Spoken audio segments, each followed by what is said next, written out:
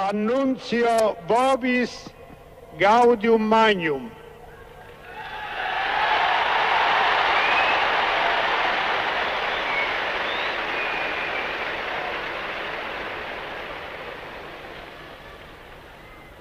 Abemus Papam.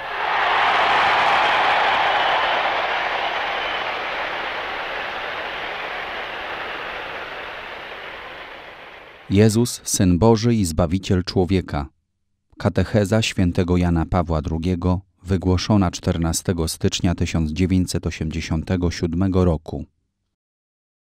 W ubiegłą środę, idąc śladami najstarszych symbolów wiary chrześcijańskiej, rozpoczęliśmy nowy cykl katechez o Jezusie Chrystusie.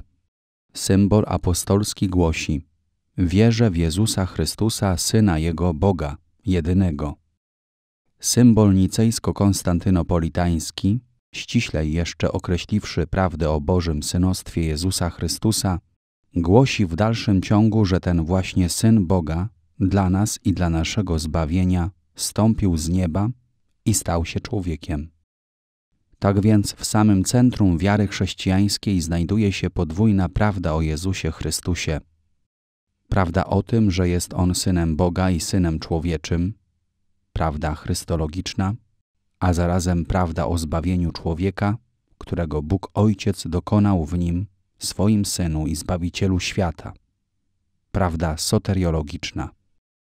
Jeżeli poprzedni cykl katechez dotyczył zła, a w szczególności grzechu, to także i w tym celu, ażeby przygotować cykl bieżący o Jezusie Chrystusie Zbawicielu.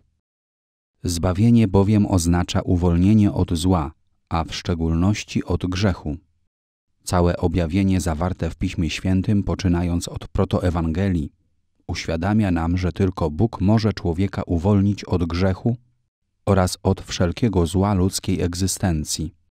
Bóg, który objawia siebie jako Stworzyciel, utrzymujący świat w istnieniu swą opatrznością, objawia siebie równocześnie jako Zbawiciel, jako ten, który uwalnia od zła, a w szczególności od grzechu, pochodzącego z wolnej woli stworzenia.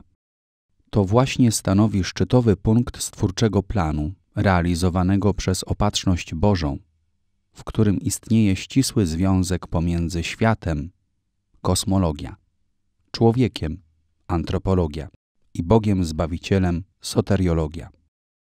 Chrześcijanie wierzą, tak uczy Sobór Watykański II, że świat z miłości Stwórcy powołany do bytu i zachowywany popadł wprawdzie w niewolę grzechu, lecz został wyzwolony przez Chrystusa ukrzyżowanego i zmartwychwstałego. Samo imię Jezus znaczy etymologicznie Jahwe wybawił, wyzwolił, pomógł. Imię to przed niewolą babilońską miało formę Jehoszua, imię teoforyczne, którego rdzeniem jest przenajświętsze imię Jahwe. Po niewoli babilońskiej występuje forma skrócona Jeszua, którą Septuaginta oddaje przez Jezus. Imię to było rozpowszechnione zarówno w okresie Starego, jak i Nowego Przymierza. Imię takie nosił Jozue, który po śmierci Mojżesza wprowadził Izraelitów do ziemi obiecanej. Stał się stosownie do swego imienia wielkim przez to, że ocalił jego wybranych, by wprowadzić Izraela w jego dziedzictwo. Prócz tego znany jest Jezus, syn Syracha, który spisał księgę Syracha. Genealogia Zbawiciela u świętego Łukasza wymienia Hera, syna Jezusa. Wśród pomocników świętego Pawła znajduje się również niejaki Jezus, zwany Justusem. Jednakże imię Jezus nigdy nie osiągnęło tak pełnego znaczenia jak w wypadku Jezusa z Nazaretu. Znaczenia, które zostało objawione przez anioła Maryi i Józefowi. Na początku publicznej działalności Jezusa ludzie pojmowali Jego imię w powszechnie przyjętym wówczas znaczeniu.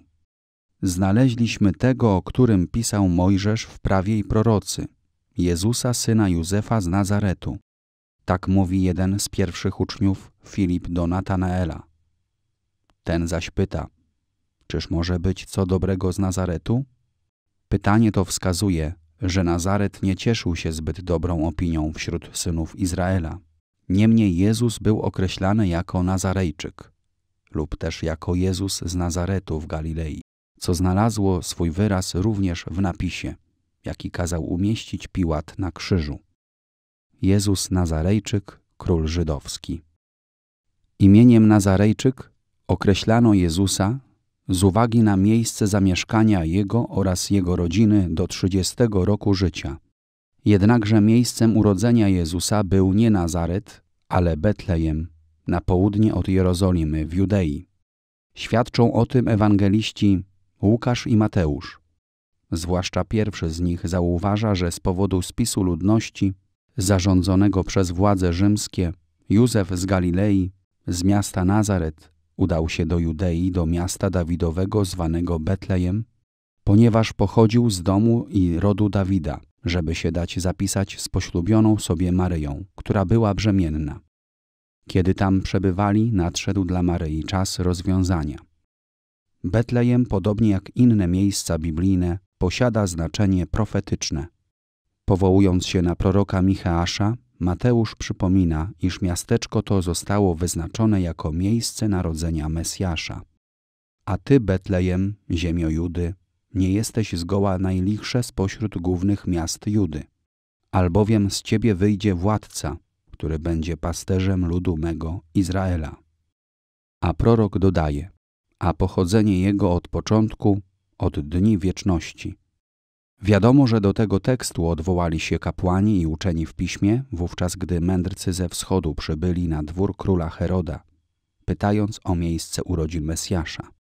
Tak więc słowa Ewangelii Mateuszowej Jezus narodził się w Betlejem w Judei za panowania króla Heroda. Odwołują się właśnie do proroctwa Micheasza, do którego odnoszą się także słowa czwartej Ewangelii. Czyż pismo nie mówi, że Mesjasz będzie pochodził z potomstwa Dawidowego i z miasteczka Betlejem? Wszystkie te szczegóły mówią jednoznacznie o tym, że Jezus jest historycznym imieniem osoby, która mieszkała w Palestynie. Jeżeli nikt poważnie nie wątpi w historyczne istnienie takich postaci jak Mojżesz czy Jozue, to tak samo nie ma żadnych podstaw, ażeby wątpić w historyczne istnienie Jezusa. Ewangelie nie opisują szczegółowo jego życia, gdyż ich pierwszorzędnym celem nie jest zapis historiograficzny. Tym niemniej to właśnie Ewangelie, jeśli się je odczytuje z uczciwym krytycyzmem, pozwalają stwierdzić, że Jezus z Nazaretu jest postacią historyczną, która żyła w określonym miejscu i czasie. Również z czysto naukowego punktu widzenia wzbudza zdziwienie nie ten, kto potwierdza, lecz ten, kto neguje istnienie Jezusa, odwołując się do przebrzmiałych teorii mitologicznych, jak czynią to jeszcze dziś niektórzy uczeni. Jeśli chodzi o dokładną datę urodzin Jezusa, to w tej dziedzinie trwają wciąż jeszcze dyskusje specjalistów. Przyjmuje się powszechnie, że kiedy mnich Dionysius Exiguus w 533 roku zaproponował liczenie czasu nie od założenia Rzymu, ale od narodzin Jezusa Chrystusa, pomylił się w przeliczeniu dat. Do niedawna sądzono, że pomylił się o cztery lata, ale jest to wciąż sprawa sporna. Imię Jezus znaczy Bóg wybawia i takie było znaczenie tego imienia w każdym wypadku, gdy było ono nadawane w tradycji ludu izraelskiego. Nadawali je rodzice swoim synom. W wypadku Jezusa, syna Maryi, imię to zostało wybrane i nadane wcześniej, przed urodzeniem, zgodnie ze wskazówkami udzielonymi Maryi przy zwiastowaniu anielskim i Józefowi we śnie. Nadano niemowlęciu imię Jezus, mówi ewangelista Łukasz, gdyż tym imieniem nazwał je anioł, zanim poczęło się w łonie matki. Zgodnie z planem Bożej Opatrzności Jezus z Nazaretu nie tylko nosi imię, które mówi o zbawieniu, Bóg wybawia, ale także jest tym, którego imię oznacza, jest Zbawicielem. Świadczą o tym już pewne zwroty użyte przez Łukasza w tzw. Tak Ewangelii Dziecięctwa. Narodził się wam Zbawiciel oraz przez Mateusza. On bowiem zbawi swój lud od jego grzechów. Zwroty te odzwierciedlają prawdę objawioną, którą głosi cały Nowy Testament. Przytoczmy w tym miejscu słowa apostoła Pawła z listu do Filipian. Dlatego też Bóg go nad wszystko wywyższył i darował mu imię ponad wszelkie imię, aby na imię Jezusa zgięło się każde kolano i aby wszelki język wyznał, że Jezus Chrystus jest Panem, Kyrios, Adonai, ku chwale Boga Ojca. Przyczynę wywyższenia Jezusa znajdujemy w świadectwie, które dają o nim apostołowie. Głoszą oni z odwagą. Nie ma w żadnym innym zbawienia, gdyż nie dano ludziom pod niebem żadnego innego imienia, w którym moglibyśmy być zbawieni.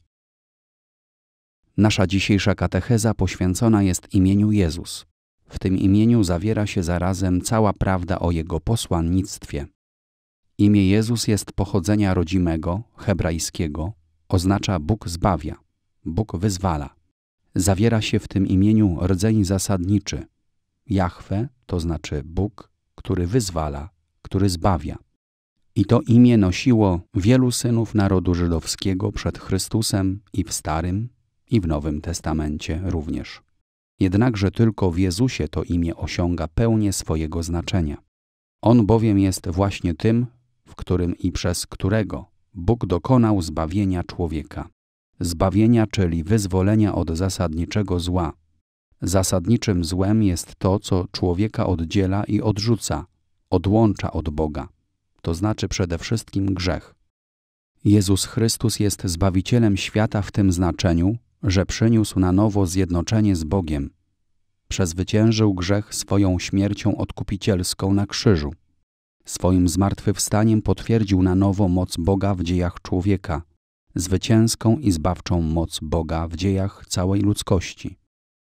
Imię Jezus zostało objawione, nie nadane z inicjatywy ludzkiej, tylko objawione przy zwiastowaniu i nadane na podstawie tego Bożego objawienia przez Maryję w dniu, kiedy wedle prawa żydowskiego wypadło nadać imię nowonarodzonemu. To imię Jezus w ustach apostołów oznacza Zbawiciela świata.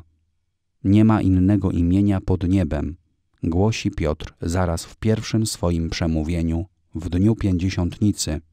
Nie ma innego imienia pod niebem danego ludziom, w którym byśmy mogli być zbawieni, tylko to jedno imię Jezus. Niech nas ożywia zawsze wiara w Jezusa, Zbawiciela świata. W tym imieniu szukajmy zbawienia. Szukajmy dróg tego zbawienia tu na ziemi, ażeby osiągnąć Jego pełnię w zjednoczeniu z Bogiem wieczności. Szczęść Boże na nowy rok wszystkim tutaj obecnym i wszystkim rodakom w ojczyźnie i na emigracji.